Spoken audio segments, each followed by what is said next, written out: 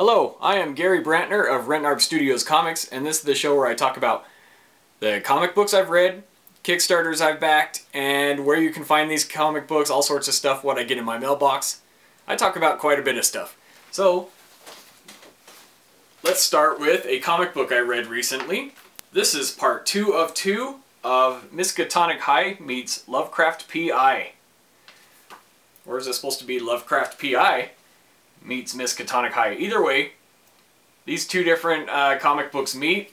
It was a very fun read. I loved it, and uh, it actually, as you may know, I am a big fan of Miskatonic High, and they introduced me to Lovecraft P.I., which uh, is now a comic book I also love. So it's really cool stuff. Oh, and look, there's an ad right here on the back for Berserker Solo Island, which is by the same creator as Lovecraft P.I. So, let's start with some credits here. Let's see, are the credits written here? Oh, there we go. There's some credits. So this is written by D.W. Kahn and Mike Shea. Art by Daniel Segulia. Colorist Damien Penalba. Lettered by Joel Saavedra. Saavedra. And script assisted by Francisco Tomat. So this, as I said, this is um, part two of Lovecraft P.I. meets Miskatonic High. And oh yeah, check out that. That's an awesome little scene right there. Kind of makes me think of Abbey Road. And that's uh, Detective Lovecraft right there walking with the kids from Miskatonic High. And uh, so anyway, this story is about uh, some time travel. They end up in 1932 by cutting themselves with a spe special sword, a Kronos sword, I think. And uh, so what they do is they cut themselves with this Kronos sword and uh, they say where they want to be and what time. So they say Washington, D.C., 1932, and poof.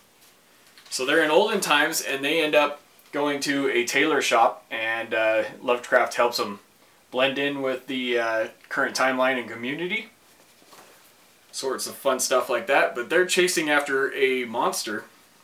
So in their own time, they were chasing this monster, and uh, when this monster reaches the atmosphere or space, it evolves into a and, multiplies. I think uh, gremlin style or something when it gets wet. Anyway, so in their own time, in our time, insane amount of monsters uh, rain down on their Miskatonic town, and uh, it all chaos breaks loose. So they figure the only way we can fix this going back in time. So that's what this story is: is they go back in time to our time and tr and try and fix it.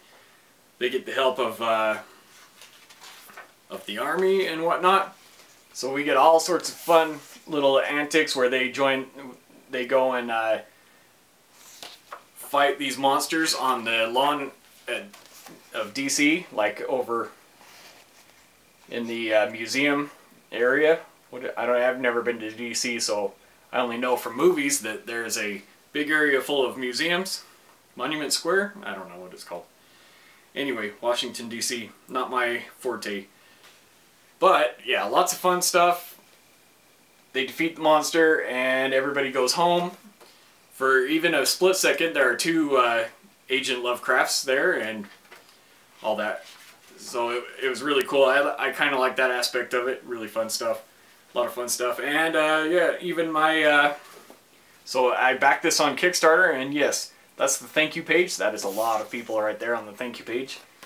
And I am listed as Harlock and Gary of Rentnarb Studios Comics. Uh, that is because normally I just back as myself, but on these Miskatonic Highs, I've got a friend hooked on them, and uh, so every time I back these comics, I get two copies, and uh, I keep one for myself and give one to him. It's a good situation, fun stuff. There's a few comic books where uh, I've backed it as with me and my friend Harlock, so that's pretty cool. Uh, yeah, so he's probably already read it by now, but it took me a while to read it. It was in my read pile. So that's Miskatonic High meets Lovecraft PI, part two of two. And uh, pretty soon I should be getting the uh, a trade volume in the mail, where it has uh, a couple extra pages, 20 I think, 20 or so extra pages of that. So that'll be awesome. I'll let you know what I think of that when I read that one. And, oh yeah, might as well show you all these awesome posters that came with it. Oh yeah, so there's the monster that they were fighting. I'll have to find some room on the wall for that. Look at that, back it up because it's so big. Yeah, look at that, that is awesome. So that is Shubby. That's what the uh, kids nicknamed this monster that they're fighting. And there's a print right there. Check that one out. Here's a print with Shubby in the background. And they're in an old 30s style car. Here's a scene from the tailor shop. And here's another scene when they're trying to get the army to help him out. And some of the chaos there. So that's pretty cool that they turned a few of those into prints. And uh, as you know, I have a wall right here. It's chock full of uh, prints and stuff from the Kickstarters and all that. Alright, so that brings me on to my next book that I read. The next book I read uh, is called Stand Still. This one, let's see, I ended up with uh, copies 1 and 2, and I already have uh, 1 and 2 of Stand Still, so I will probably be doing a contest and giving those away. Because I don't really need extra copies of it, but this review is of issue 3 and 4 that uh, I backed, and uh, really cool stuff. I This story is amazing. I would love to see this up on the screen. It's crazy stuff. It's pandemic-ish. In that, um, ooh, I got to be careful what pages I turn to to keep this clean for kids.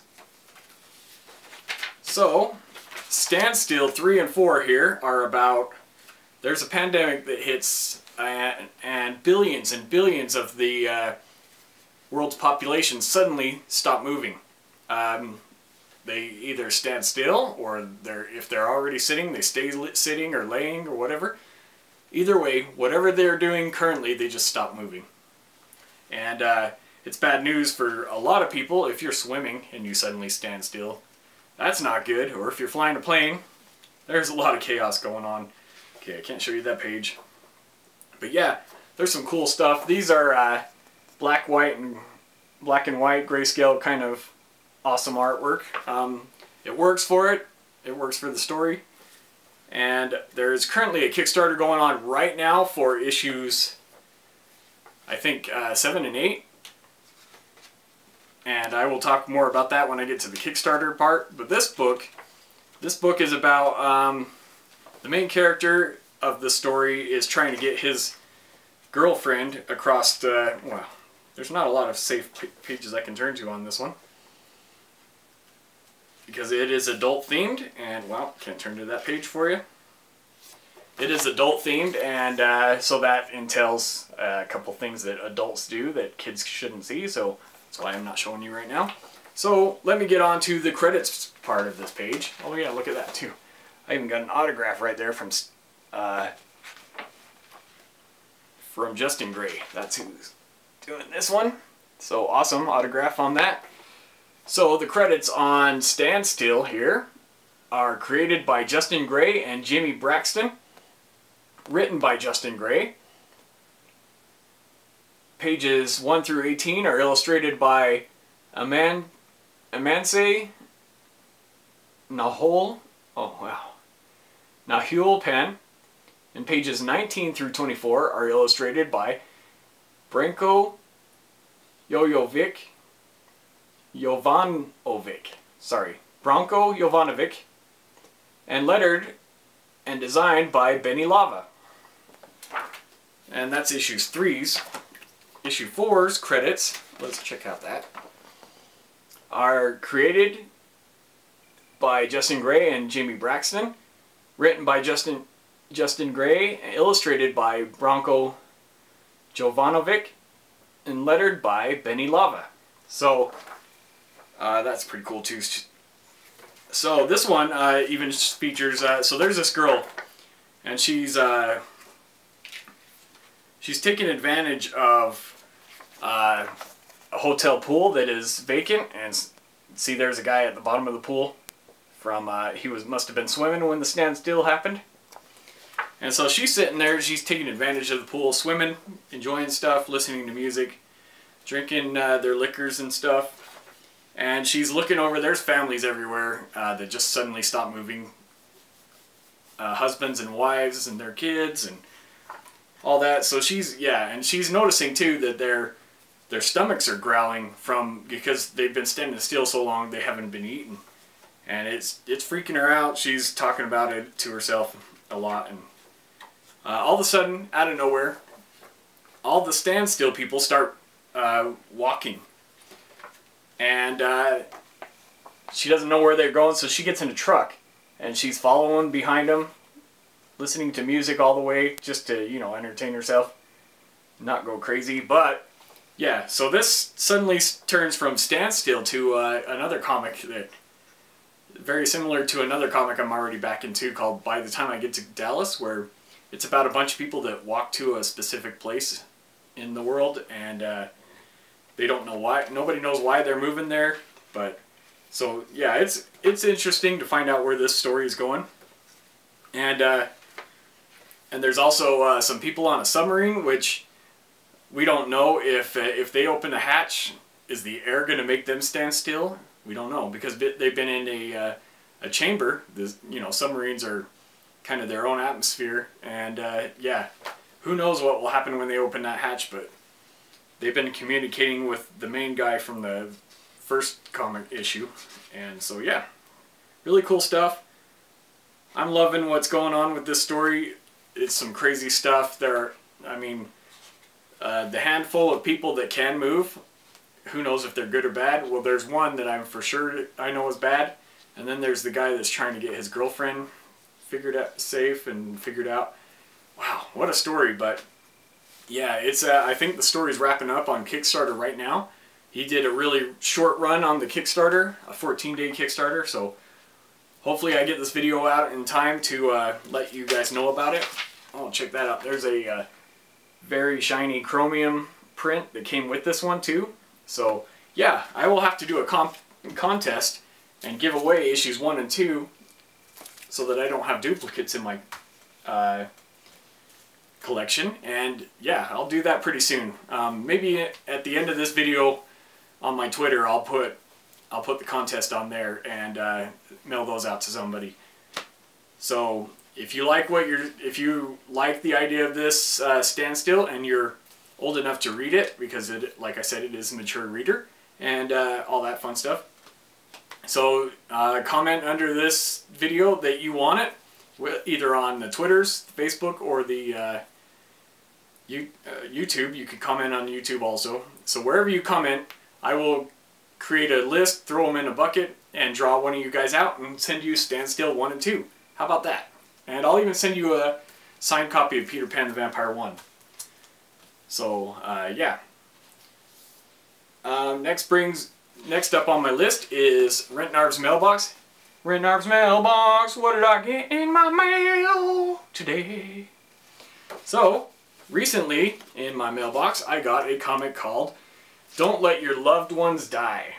I don't even remember what the story is, but apparently it was cool enough that I wanted to back it. Wow, this is a thick book too. A lot of pages in this boy. So I can't wait to uh,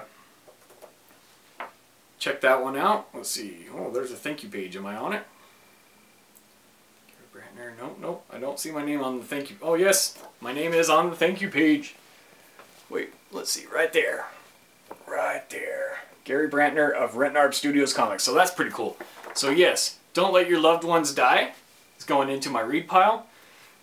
Right now my read pile is an entire long box full of books, so I'm getting, I'm trying to catch up, but it's it's a hard struggle to catch up. And, and also in my mailbox, I got these. These are uh, blue leads, and I use blue lead when I draw my comic books, so these are going to come in handy. What you, The reason you draw on blue lead is when you scan it, the blue is not supposed to uh, photocopy. So if I draw it really sloppy in blue lead and then ink it, it it creates less ink, less erasing and keeps my Sharpie lines and all that fun stuff uh, solid enough that uh, when I scan it, it, everything looks good. Either way, uh, yeah, if you're making comics, I recommend checking out Blue Leads. See what they can do for you and all that fun stuff. Now we're on to the campaign corner. Better get out of that corner.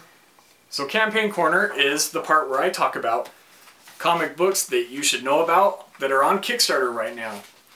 And uh, so I'm going to start with uh, talking about my own book. I know it's a little uh, it's a little uh, self-promoted, I guess, but hey, where else am I going to talk about my own books but my own show? So, Peter Pan the Vampire comics are on indieplanet.com, and I write and draw the whole thing, I color everything. I'm the entire team on uh, Peter Pan the Vampire comics. And uh, yeah, I have issues 1, 2, and 3 on there uh, pretty soon. I should have 4 coming up, or actually before 4, I want to release one called The Mermaids of Neverland that my daughter is drawing. Just for giggles here, I'm going to show you some of that. So check this out. This is a page from Mermaids of Neverland. My daughter is drawing it. And uh, oh, here's another page. Check that cool stuff out. So I got two pages here of Mermaids of Neverland. I've got quite a bit of pages, but as soon as I as soon as she finishes that comic book, uh, I will be throwing that up on the uh, Kickstarter, just running a campaign for it. And uh, yeah, I'm paying her pretty good for it. And if the Kickstarter goes really well, she'll get a bonus on it. So be on the lookout for that. But Peter Pan the Vampire comics are on Indie Planet. You can pay the, uh, they're under $4 a copy. And uh, so get $4 for the physical copy, or they're actually free if you download them to your phone. Uh, downloading getting the free copy, even if you already have the uh, physical copy, it helps me out. Keep, keeps me in the algorithm and uh, lets people know you like my comics, all that fun stuff. So check out Peter Pan the Vampire on IndiePlanet.com and uh, Indie Planet is an awesome place. That's where I print my comics through Indie Planet's Kablam Printing. And they are awesome people. As you recently remember uh, in my last video, I did a box opening of my latest shipment of Peter Pan the Vampire comics, which are right here. Uh, these are what my, I call my mini comics. I print three on the side and then cut them into mini comics. Uh, maybe I'll send you one of those with standstill if you win. So, um, yeah. So I had a flub where, uh, as I was showing you the comics I got, uh, I noticed they gave me black and white issue number threes instead of my color issue number threes. Well, they, they've already fixed that it's already cool. Um, so I already have my uh, the reshipment of it, issue three's color coming my way. They're already fixing it. It's awesome. I love Kablam. Thank you for uh, fixing that so fast, Kablam. And YouTube comments. Nobody's commented lately on my videos, so can't read those. Alright, now to the Kickstarters. Duplicant 1 through 5 is on Kickstarter. Wait, actually, right before I started recording, I noticed that that uh, had come out of my account, so Duplicant 1 through 5 is over. Grim Space is on Kickstarter right now. A sci-fi reimagining of classic fairy tales. So Grim Space is, um, it's about Jack and the Beanstalk. Basically, um, Jack is a pilot captain and he, uh, he runs the ship, the Beanstalk. And so this is all uh, fairy tales in space, kind of cool stuff. And he has a android that goes default defunctive? Defective. And uh, its name is P1 Nokio, so obviously you know where that one's coming from. And uh, he trades in P1 Nokio for a, a mysterious navigation unit, and uh, so basically it's the Jack and the Beanstalk story. Who knows what's going on? Lost in space kind of st cool stuff. It is a 28 page comic book. I'm happy to be a backer of this one. I can't wait to get it. And it is from the same people who brought you the uh, Tales from Neverland story. So that's cool. Um, I, I was really happy with their version of the Peter Pans, all the different versions. And so Grim Space 1 is on Kickstarter right now till November 19th. The complete Kickstarter playbook is on Kickstarter right now from Will Terry. Will Terry made the um, what they don't teach you in art school and uh, I that was a pretty cool. It's a textbook style book of basically just tips of how to get your art noticed and stuff into galleries. So I'm imagining the complete playbook of Kickstarter here, the complete Kickstarter playbook, is along the same lines. It's going to be a textbook, and uh, hopefully it gives me some ideas on how I should run my Kickstarter when uh, the time comes to run Mermaids of Neverland and Peter Pan the Vampire 4, all that fun stuff. So check out the complete Kickstarter playbook on Kickstarter till November 22nd. Oh, here we go. Justin Gray's Standstill 7 and 8 are on Kickstarter right now. That's the book that I just reviewed and the book that you can win by commenting that you want to enter into the contest. Even if you just comment like, hey, your show's dumb, you're still in the contest, so whatever. Uh, so check out Justin Gray's Standstill 7 and 8 on Kickstarter right now. You can get issues 1 through 8 in the Kickstarter as well. I recommend that. Uh, huge, huge fan of the storyline. And uh, so, the byline here. The, the Survivor survival horror comic Standstill with two new completed issues.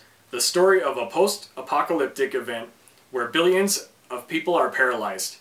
This is a 14-day campaign, and I think it actually ends in 7 days. So check out Standstill on Kickstarter right now till November 23rd.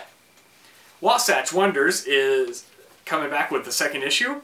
It is a 24-page comic book continuing the adventures of Utah's greatest superhero team, the Wasatch Wonders.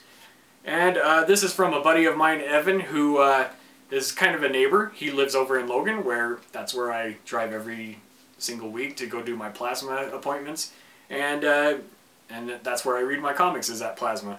Anyway, so Evan, he's a local guy from Utah here, right? Pretty much neighbors, and uh, he's a teacher making comics in his spare time. Really cool stuff. I can't wait to uh, see what he does in the next installment of Wasatch Wonders number two. Check it out. Um, so, Wasatch Wonders issue two is on Kickstarter till November 23rd get in on that one. Miskatonic High, awesome. That's uh, where you could actually, the comics are reviewed. Um, Miskatonic High meets Lovecraft PI. Well, you could get that comic, Lovecraft PI and meets Miskatonic High, on this Kickstarter. So check out Miskatonic High 13. Wow, 13 issues, so so high up there, so many good stuff to read. The time twisting into season two when Alex and Simon confront the warlock. It's a race against time to save them. But for some of their friends, it's already too late. 27 pages of awesomeness. Uh, the behind-the-scenes teacher's lounge, lounge part in the back of the books are always my favorite part too. I love uh, their little anecdotes and insight into how they make the comics and uh, their back and forth on how they come up with characters.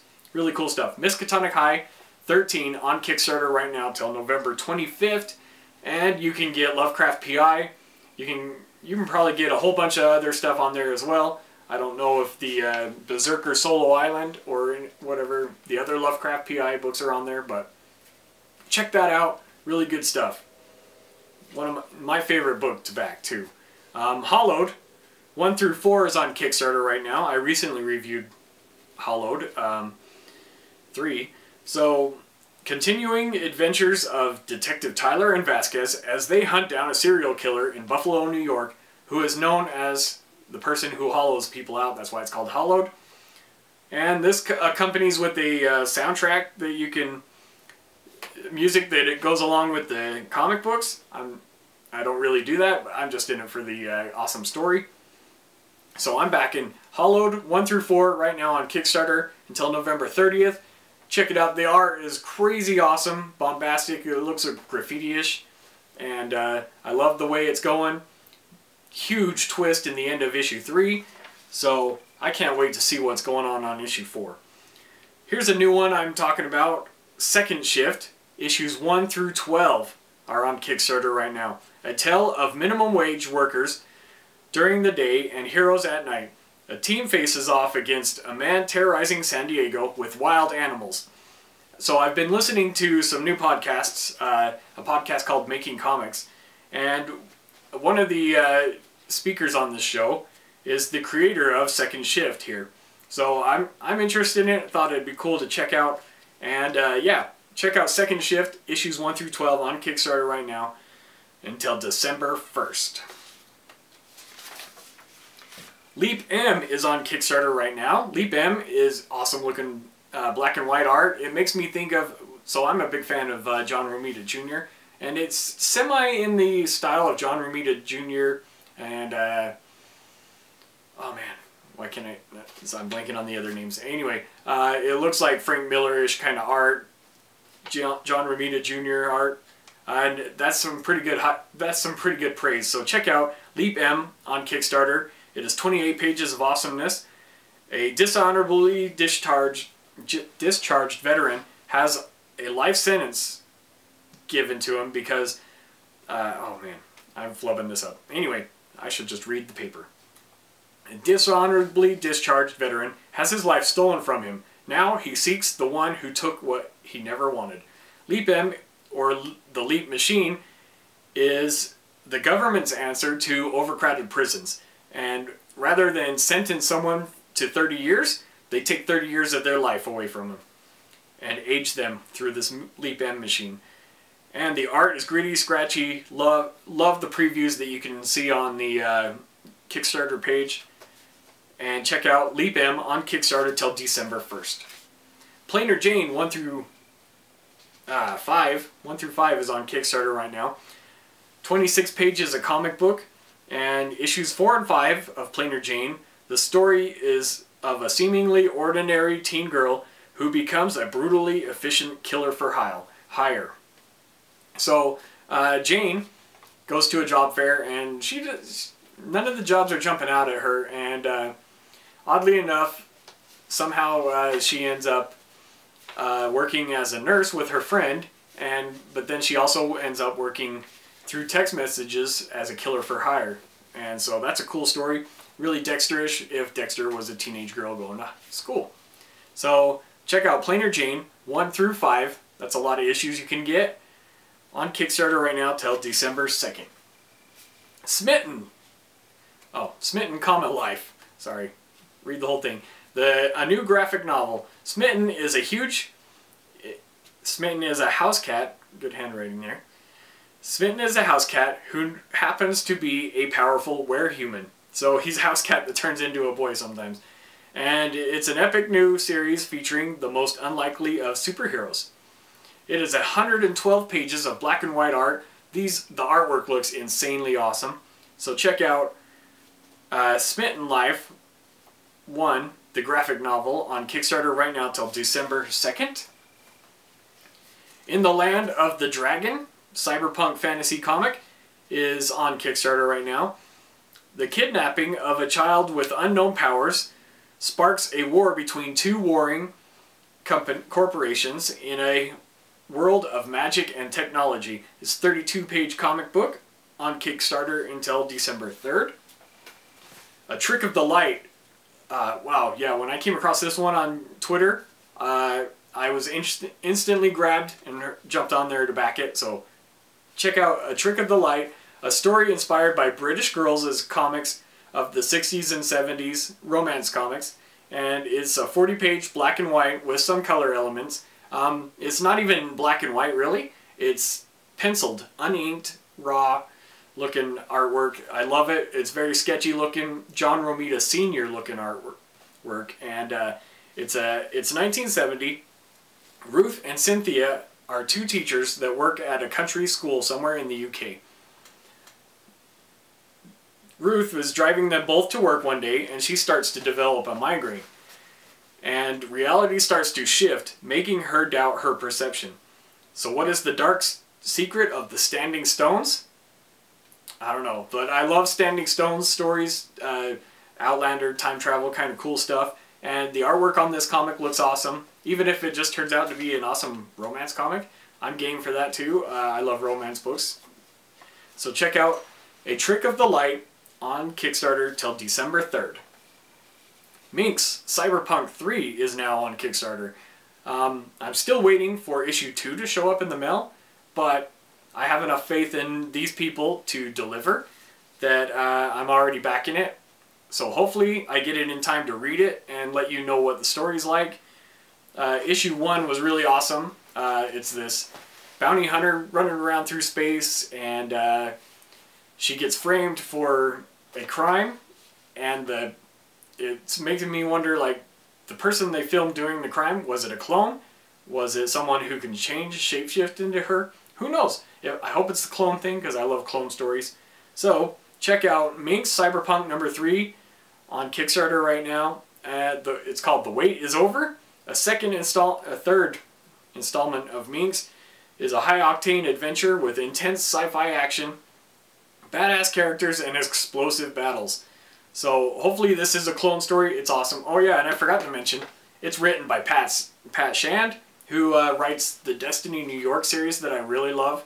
I mean, if you uh, look at my Kickstarter box here, there is a huge chunk of Pat Shand comics in there. Um, yeah, Destiny New York and all the Destiny, like uh, Kick-Ass Barista and uh, or Badass Barista.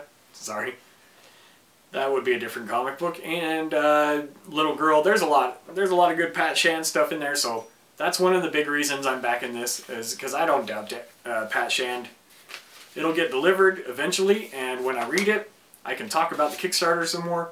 Fun stuff. Minx Cyberpunk is on Kickstarter till December 8th. Happy Pines is on Kickstarter right now. It is a 35-page mystery thriller set in the forests of Nova Scotia. And it, Happy Pines is on Kickstarter till December 9th. Dig Two Graves, the graphic novel, is on Indiegogo. After a brutal murder of her family, Miranda Stone is left with a desire for revenge. 80 pages plus 4 bonus material pages. It is for mature readers. Um, so dig two graves, obviously the saying goes, is if you want revenge, dig two graves. So check out Dig Two Graves right now on Indiegogo.